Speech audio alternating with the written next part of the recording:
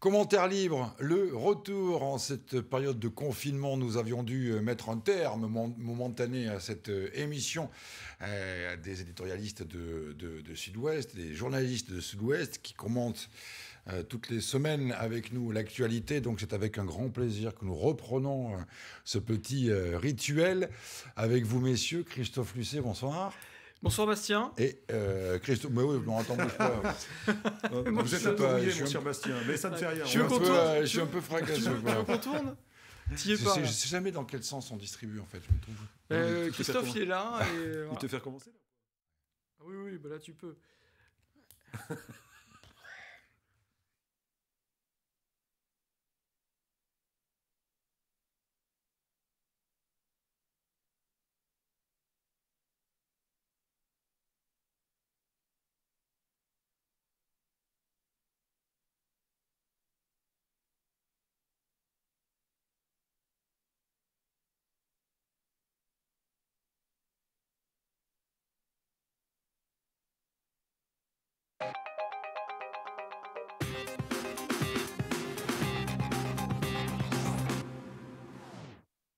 Et oui, c'est le retour de commentaires libres, une émission à laquelle nous avions dû euh, nous résigner euh, à l'abandon, puisque j'y arrive pas.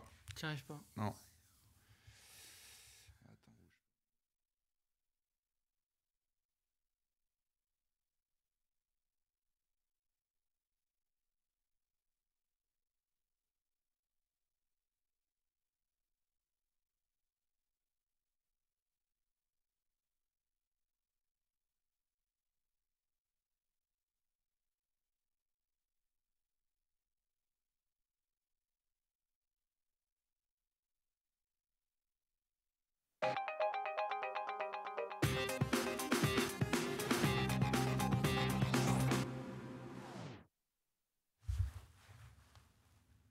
Et eh oui, c'est le retour de euh, commentaires libres. Euh, ces dernières semaines, nous avions dû euh, suspendre l'émission pour cause de confinement. Eh bien, puisque nous sommes désormais déconfinés, les revoilà. Ils sont là. Ils sont avec nous. Jefferson Desports, bonsoir. Bonsoir Bastien. Christophe Lucet, bonsoir. Bonsoir Bastien. Et comme nous avons pas mal de retard à rattraper et beaucoup de choses à dire, j'imagine on va faire un petit peu plus long pour cette, pour cette reprise, puisque nous allons parler des grandes, des grandes leçons autour du confinement, du déconfinement, et essayer de parler aussi du monde d'après, euh, dont on, entend euh, beaucoup parler ces, euh, ces, derniers temps. Le confinement, période absolument hallucinante, on est bien d'accord, personne n'y était préparé, ça a été fait en l'espace de, de, quelques heures, du, du jamais vu mais nécessaire on n'était on pas préparé. Euh, cela dit, euh, cela dit euh, la Chine avait confiné. Et on regardait cette expérience chinoise d'une ville entière, une métropole, donc que, en, se disant c'est pas possible, totalement sous cloche. Mais on regardait ça avec une sorte de, une sorte de, de, curiosité, mais sans, sans qu'elle nous, sans qu'elle nous impacte, nous impacte directement. On, s'imaginait que la Chine était très très loin, et elle reste d'ailleurs à 20 000 km. Mais, mais finalement, la Chine s'est beaucoup rapprochée de nous, pour le meilleur et pour le pire, avec, avec, avec cette obligation que nous avons eue de d'imiter cette cette, opération à l'échelle de tout un pays. Alors certes, là où la, province, la province chinoise qui a été confinée donc est, vaste comme la France et peuplée comme la France, mais enfin évidemment, ça ne fait pas le même effet. Euh, voilà, donc il a, fallu, euh, il a fallu intégrer un nouveau pan de la réalité, d'une nouvelle réalité. Et ça, évidemment, tous les Français, euh, tous les Français ont, des choses à dire à ce sujet, ont leur perception. En tout cas, c'est un énorme événement. Oui, c'est une manœuvre, le confinement c'est une manœuvre inédite, comme le déconfinement est une manœuvre aussi inédite par définition. Euh, maintenant, euh, ce qui est très curieux, c'est que nous sommes maintenant rentrés dans cette autre phase où on retrouve un peu de liberté. Et quand ça a été déclenché, le confinement, tout le monde s'est interrogé en se disant, euh, mais comment nous, Français, qui sommes si râleurs, qui n'aimons pas les règles, les, encore plus les règles aussi restrictives que celles-ci, avec des interdictions de, de se déplacer, il a fallu avoir des autorisations sur nos smartphones pour pouvoir justifier le moindre déplacement. Comment allions-nous vivre ça? Et eh bien finalement, on a survécu à ça, on a surmonté cette épreuve. Alors évidemment, euh, ça ne peut pas se résumer en une seule phrase parce que euh, le confinement a eu pour conséquence de mettre un pays tout entier à l'arrêt. C'est du jamais vu, avec des difficultés économiques qui sont devant nous, qui vont être extrêmement lourdes, des familles qui ont été confrontées à des situations euh, sociales extrêmement sévères. Je pense notamment à, la, sur la question alimentaire, avec des familles qui bénéficient de la, de la cantine, par exemple, quasiment gratuite, qui n'ont pas pu avoir cette offre-là. Donc voilà, ça, a impacté toute la société dans son ensemble pendant 55 jours, presque deux mois. On a réussi à passer ce cap-là. Maintenant, rendez-vous rendez pour l'après.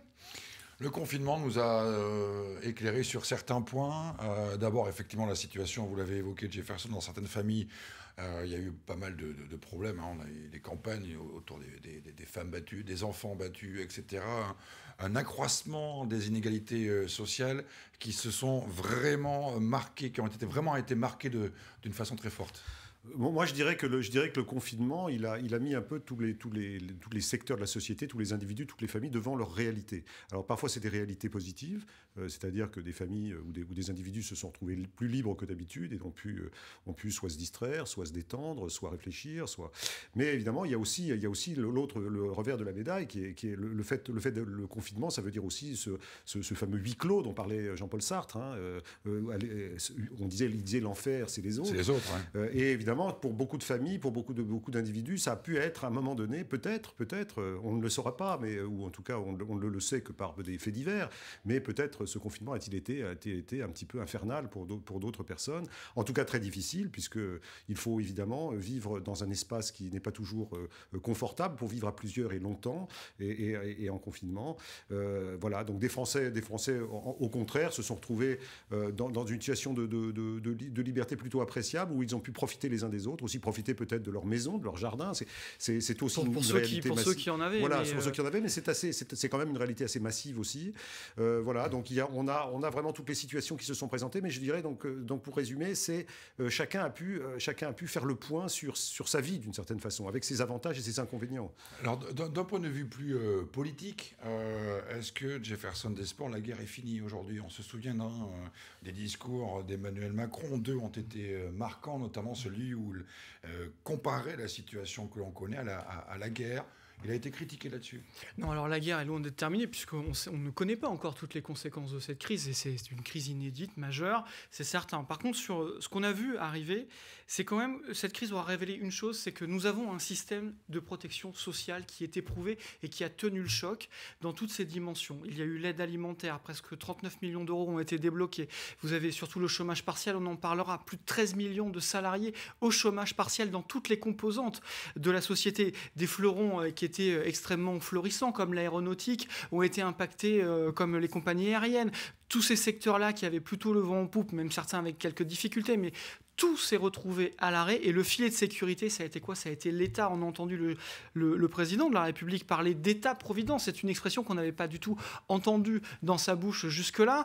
On s'est retourné vers l'État et on a vu qu'on avait quand même des filets de sécurité. Et ce sont ces filets de sécurité qui vont nous faire passer ce cap-là euh, avec plus ou moins de dégâts, mais en tout cas, ça va amortir. On a pu faire la comparaison au moins avec les États-Unis, qui se sont retrouvés du jour au lendemain avec des millions de chômeurs. Ça n'a pas été le cas ici. Voilà, les amortisseurs sociaux, les filets ont fonctionné, et c'est un des grands enseignements de cette crise parce qu'il n'a pas fallu les créer comme ça euh, au jour le jour. Ils étaient là. Et ce sera pas ce sera pas suffisant, mais en tout cas, c'est un moindre mal. Et quand vous avez 13, 13 millions de salariés en chômage partiel, ça vous évite des licenciements secs, ça vous évite d'accroître le, mal finalement. Donc là, c'est un enseignement majeur. Maintenant, qu'est-ce qu'on en fera? Ce sera une question qu'on abordera après. C'est vrai, c'est vrai. Jefferson le dit que, l'État a, déployé le parachute. Euh, on peut employer toutes les métaphores. Le parachute, euh, les canadaires de milliards d'euros qui se sont déversés sur l'économie pour éteindre l'incendie, etc. Vous pouvez prendre toutes les, comparaisons. Alors il y a, il y a dans, ce déploiement quelque chose, quelque chose qui, nous renvoie effectivement à la réalité de l'État-providence et, rappelle que nous vivons dans des sociétés qui sont, qui sont extrêmement organisées et qui, qui, ont un acquis.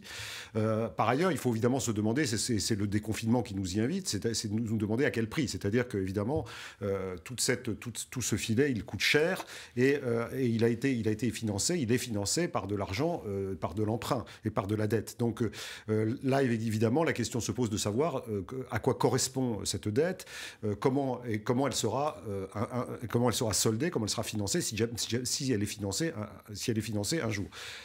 Alors la seule chose, alors on sait, on sait que c'est un débat en France qui est, qui est, qui est, qui est lourd, puisque nous avons un État, un État euh, lourdement endetté, euh, sans, plus que certains de nos voisins.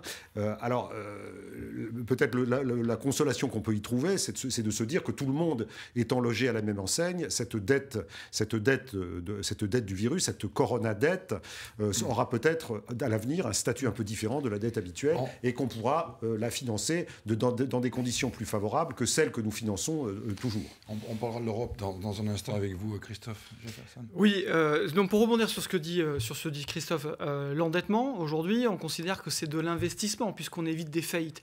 Maintenant, il y a quelque chose qui est quand même très frappant dans cette crise, et justement sur les parachutes et tout l'argent qui a été mis sur la table pour nous faire passer ce cap-là, c'est qu'avant la crise, ça n'était pas possible. Rappelez-vous euh, les élections européennes, la nouvelle présidente de la Commission européenne annonce 1000 milliards d'euros d'investissement dans la transition écologique. Quelques mois plus tard, moi je me souviens être allé à Bruxelles, avoir rencontré des, parlementaires européens. Il n'y avait, avant la crise, il n'y avait pas le début d'un euro sur la table pour ces 1000 milliards. On est quelques mois plus tard, deux mois de confinement généralisé à l'échelle de la planète. La France a mis 500 milliards d'euros pour sauver ses entreprises. L'Allemagne fait un plan autour de 900 milliards d'euros. On a trouvé de l'argent, on a trouvé des solutions. Et c'est là où il y a un. Je pense qu'il va y avoir un débat et ça va, alimenter les prochains mois. C'est que ce qui n'était pas possible, parce que nous étions, en tout cas, ce gouvernement avait pour mantra les 3% euh, de, de déficit imposé par Bruxelles. Tout ça a volé en éclats. Ça prouve donc qu'une autre politique est possible. Je rejoins Christophe sur la question de à quel prix, mais néanmoins, ça a été fait. Peut-être que ce sera vertueux, peut-être que ça ne se le sera pas, mais en tout cas, c'est la voie qui est choisie et elle a montré qu'on pouvait faire les choses différemment. D'un point de vue toujours politique, pour en revenir au, discours d'Emmanuel Macron en cette période de, confinement, euh, est-ce que l'on peut dire qu'à cette occasion-là, Emmanuel Macron déjà a fait un mea culpa? Il a dit à plusieurs reprises on a fait des erreurs, il faudra en tirer les leçons, moi y compris. Et il a remis en avant l'État-providence.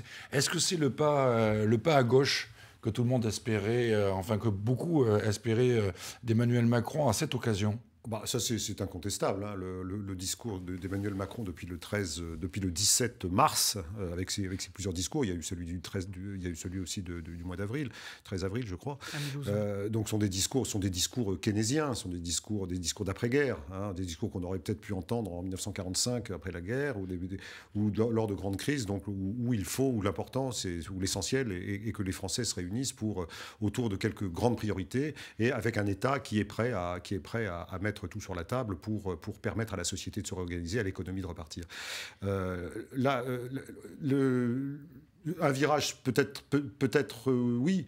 Euh, évidemment, les Français sont toujours Français qui sont un peu sceptiques, euh, attendent de voir. On voit d'ailleurs que parmi tous les dirigeants européens, Emmanuel Macron est peut-être le, plus mal loti sur le plan de l'opinion publique. C'est-à-dire qu'il a, il a, il a un peu profité, mais pas énormément, de la, crise en, termes de, popularité sondagière. et bah, il peut peut-être en, en, avoir quelques, quelques regrets, parce qu'au fond, il a mis quand même évidemment beaucoup de lui-même dans cette crise.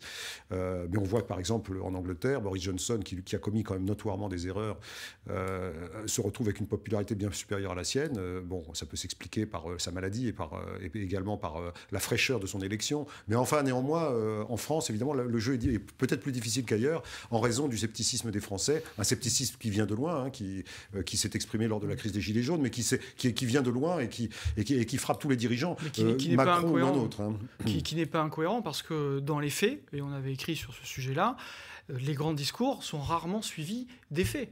Donc le scepticisme, il vient aussi à, l'aune d'une histoire où il y a eu beaucoup de rendez-vous manqués. Là, pour le coup, il y a un rendez-vous historique face à un moment historique. Est-ce que, la question, et Emmanuel Macron l'a dit, il faut se réinventer, se réinventer lui-même. La question, c'est euh, comment le macronisme, qui jusque-là, euh, souvenez-vous, avant la crise, c'était le président des riches, maintenant, est-ce qu'il ne va pas devenir subitement le président des pauvres? C'est pas ça. Mais en tout cas, il y a une autre voie à, à prendre, en tout cas c'est ce qu'il laisse entendre, mais c'est surtout que le calendrier électoral va tourner de plus en plus vite à partir du mois de septembre. On sera à deux ans de la présidentielle. Voilà, là, la 2020 va toucher à sa fin sur une crise inédite. La dernière année va être euh, presque une année euh, pas pour rien, mais il va falloir accélérer pour imprimer une nouvelle marque. Là, il y a un vrai rendez-vous, en tout cas pour ce président, et à savoir comment incarner ce virage et qu'est-ce qu'il va prendre. Mais si, je veux juste terminer sur un point, c'est parmi les grandes leçons, ce que vous disiez, euh, Bastien, les grandes leçons, c'est que une économie aussi libérale soit-elle, manifestement, sans un système de santé qui est capable d'absorber les chocs, elle ne tient pas. Et là, il y a peut-être une nouvelle pierre angulaire à construire. En tout cas, ça pourrait prendre ce, chemin-là. La transition est toute trouvée pour évoquer effectivement les, semaines ou, ou, les, mois qui viennent. J'ai entendu Gilets jaunes, j'ai entendu critiques autour de l'économie, etc. à votre avis, messieurs, est-ce que les mois qui viennent vont être très difficiles d'un point de vue économique et d'un point de vue social On entend des gens parler du retour des Gilets jaunes, euh, les, promesses faites par Emmanuel Macron, il va falloir effectivement qu'elles soient suivies des faits, parce que là, ça risque d'être très compliqué pour lui, et ça commence pas très bien, puisqu'il y a par exemple euh, la situation des, aides-soignantes et des infirmières à qui le gouvernement avait promis euh, des, aides, ou en tout cas des, primes de l'ordre de 1500 euros en mars. Le décret n'est toujours pas signé. Là, attention, on, est bien d'accord, les, semaines qui, qui viennent vont être très tendues il y a deux choses. Il y a, d'abord remplir comme Jefferson vient de le dire, c'est-à-dire les promesses non tenues doivent devenir des promesses tenues. Donc euh, là, le gouvernement est attendu au tournant sur certaines, annonces qu'il a faites. Euh, donc, euh, vous parlez des primes, c'est un exemple, c'est un bon exemple de, ce que les, certaines catégories de Français attendent pour passer le cap des difficultés. Après, il y a, surtout, l'atterrissage, l'atterrissage d'après crise, c'est-à-dire que une fois que les, fois que les, ailes du parachute seront en partie repliées, elles, ne le seront pas complètement, elles vont l'être très progressivement, mais enfin néanmoins, euh, après l'été, on va se retrouver quand même dans une situation de, réalité, c'est-à-dire, si vous voulez, où, le chômage partiel sera replié, où les aides exceptionnelles seront, donc seront versées, où il faudra revenir à des, fondamentaux. Et là, c'est là qu'on verra un peu les, conséquences. C'est-à-dire qu'il y a des, secteurs entiers n'ont pas redémarré, ne sont pas prêts de redémarrer. Euh, donc, euh, tous les secteurs. Et d'ailleurs, pour la France, en particulier, la, situation est particulièrement préoccupante pour la France parce qu'on a beaucoup de secteurs qui sont, qui impactés. Et si on ne parle que du secteur du tourisme, c'est pas seulement le tourisme, c'est aussi, euh, c'est aussi euh, tout ce qui fait l'attractivité de la France, euh, ses musées, c'est tout ce qui sont tout, tout, son accueil, et puis aussi tout ce que la France fabrique et qui sert à des sert comme infrastructure de tourisme. Je pense au paquebot de Saint-Nazaire, je pense aux avions que l'on construit. L'économie française, c'est pas seulement les 85 millions de touristes qui viennent qui viennent dépenser de l'argent en France. C'est aussi aussi une industrie des services qui sont en partie qui tournent en partie autour du tourisme. Et ce secteur-là, particulièrement J'insiste là-dessus parce que c'est un secteur qui, pèse lourd et, dont, la chute euh, brutale euh, vraiment avoir des conséquences en chaîne. Alors, y compris sur le luxe, par exemple, sur, l'industrie du luxe. Le luxe ne se vend pas actuellement. LVMH euh, donc, se fait des cheveux blancs. Voilà. Donc, si vous voulez, les, conséquences en chaîne, on va, les, on va les voir au fur et à mesure. Elles vont être très importantes. Et là, et là si vous voulez, ça va impacter des centaines, des centaines de milliers de salariés. Comment est-ce qu'on va pouvoir financer la financer le, redémarrage? Comment est-ce qu'on va pouvoir empêcher des, licenciements, empêcher des faillites? La, question est entière. Alors, il y aura l'aide de l'Europe, euh, il y aura l'aide, évidemment, il y aura, ça c'est très très important, on va peut-être en parler, le, fait que l'Europe, si vous voulez, se mette, mette vraiment à travailler de, manière très étroite sur des plans de relance, ça c'est capital, et puis aussi la situation géopolitique mondiale qui, jouera. Hein. Jefferson, les semaines, les mois qui viennent. Bah, il y aura, il y aura, bah, il y a une, de réelles incertitudes, c'est logique, et je vais pas revenir sur tout ce que Christophe a dit sur euh, la rentrée de septembre va être très compliquée quand le chômage partiel va vraiment euh, s'arrêter et que les entreprises qui n'auront pas toutes redémarré auront toujours leurs salariés. Là, il va y avoir une équation extrêmement compliquée à, affronter. Maintenant, l'autre sujet qui va arriver, ça va être le sujet des relocalisations. C'est ce qui a, c'est le, le débat qui a un peu euh, traversé toute cette crise du confinement et qui va nous occuper dans les mois à venir. Est-ce qu'on va rapatrier certaines euh, industries stratégiques, notamment dans le domaine de la santé? On voit qu'on avait fait confiance à la Chine, qui est l'usine du monde dans, pour nombreux secteurs de notre économie. Est-ce que tout ça va vraiment revenir en France, recréer de l'emploi, etc. On a bien de l'autonomie de défense, on a une, une, industrie de défense en France extrêmement pointue, extrêmement compétente. Est-ce qu'on aura la même chose demain dans l'univers de la santé, dans l'univers de l'alimentation, de l'agriculture, etc. Donc voilà, en fait, on est euh, peut-être qu'on est en train de rebattre les cartes. Ne soyons pas naïfs, parce que le chantier est tellement colossal qu'il ne se fera pas en un claquement de doigts. Maintenant, la priorité, et je pense que euh, Christophe parlait de géopolitique avec des enjeux euh, évidemment extrêmement complexes, euh, il va y avoir une réalité de terrain. Voilà, ça va être celle-ci qui va nous occuper. Et c'est là où on va prendre de plein fouet, prendre les effets secondaires de cette crise. Et c'est là où il va falloir être extrêmement fort. Si je peux me permettre de rebondir un, juste un instant sur ce que vient de dire Jefferson, c'est la, la, la, relocalisation. tout le monde y aspire. Simplement, elle, elle se, vient de le dire, ça ne se fait pas d'un claquement de doigts, parce que ça implique des chaînes de, des chaînes de, des chaînes de production, des chaînes de valeur, des, compétences, des relocaliser, c'est très compliqué parfois, c'est très long et très compliqué. Donc, c'est, si vous voulez, il y a un discours, il y a un discours qui peut apparaître un peu démagogique parfois, comme un, discours, bon, il y a qu'à, il faut qu'on le fasse, oui, bien sûr, mais c'est, mais c'est forcément long. Et puis aussi, c'est, on est tributaire aussi d'échanges internationaux, de, de, tout le monde, tout le monde évidemment se tient un petit peu par, un peu par la barbichette d'une certaine manière. Donc, ce que, nous, importons, c'est aussi parce que nous exportons d'autres, produits. Enfin voilà, il y a, beaucoup de choses qui vont peut-être se, remettre en ligne, mais, ce sera très long. Et peut-être, pour terminer, euh, euh, on est dans, la situation euh, de 1945 où, on pensait à, planifier l'économie française. Sans, doute, il, va falloir revenir à cette notion, cette notion un peu gaulliste finalement de, planification, parce qu'il faut prévoir à long terme et il faut mettre en place des, mesures lourdes et transversales qui vont être voilà. Et ça, ça demande beaucoup de volonté de la part des gouvernants. Est-ce que ce gouvernement a les épaules actuellement pour le faire? Ben, En tout cas, il va falloir qu'il s'y attelle. Rapidement, Christophe c'est une question. Est-ce que, est que l'Europe est une des clés essentielles pour euh, effectivement euh, avoir des, des, semaines ou des mois moins, moins difficiles? Parce que là, l'Europe est quand même euh, centrale et aussi en danger. Oui, oui, elle est centrale. Enfin, euh, oui, Jefferson a, parlé de, du, millier de milliards mis sur la table. il y a beaucoup de mesures. Contrairement à la crise de 2008, l'Europe a réagi vite sur le plan, sur le plan, euh, sur le plan financier. ça va être. Alors aujourd'hui, par exemple, aujourd'hui, la, Commission s'est penchée sur, le redémarrage des voyages au sein de l'Union européenne et, sur, et surtout en insistant, en insistant sur, la, sur, la, sur la, collaboration des États, sur les mesures, c'est-à-dire, prendre des, se déconfiner, c'est se déconfiner ensemble, euh, en tout cas pas, pas de la même manière, mais en tout cas de manière concertée, et notamment sur le plan des voyages, évidemment, c'est vraiment un domaine sur lequel il est impossible qu'un État euh, prenne des décisions dans son coin, ça n'a pas de sens. Euh, et donc, donc que ce soit pour les quarantaines, que ce soit pour la circulation des aéronefs, l'accès aux plateformes aéroportuaires, les, toute la législation, il faut, que tout, il faut que les Européens se concertent étroitement. Et ça, manifestement, c'est un enjeu majeur qui a été saisi hein, par, la, par la Commission. Allez, rapidement, Jefferson des Sports, il nous reste 30 secondes. Euh, rapidement, d'un point de vue politique, on a beaucoup entendu euh, des présidents de région, des présidents de département, des maires euh, dire faites-nous confiance, arrêtez de tout centraliser, nous on sait ce qu'il faut faire. Est-ce que ça aussi, ça peut être un, tournant par rapport à cette volonté de davantage de décentralisation en France? Incontestablement, mais c'est ça, c'est le lien parfait avec les Gilets jaunes, parce qu'une fois encore, comme pour les Gilets jaunes, le chef de l'État, qui n'est pas un grand décentralisateur dans l'âme, n'a pas d'autre choix que de s'appuyer sur les élus locaux. Je ne refais pas le débat sur l'école, vous l'avez vu, avec des maires en position de dire nous, on ne rouvre pas l'école s'il n'y a, pas, euh, les conditions nécessaires. Donc voilà, ce, ce dialogue-là euh, a été euh, installé, de fait. Maintenant, oui, ça montre qu'une fois encore, ce pays est complexe, qu'il y a des élus locaux qu'il faut faire avec. Merci beaucoup, euh, messieurs. Et mon petit doigt euh, me dit que, vu les circonstances, nous allons euh, continuer à nous retrouver régulièrement. Avant le confinement et après le confinement, c'est toujours pareil. Les faits sont sacrés, mais les commentaires sont libres. Merci beaucoup. Merci, Bastien. Et content de vous retrouver.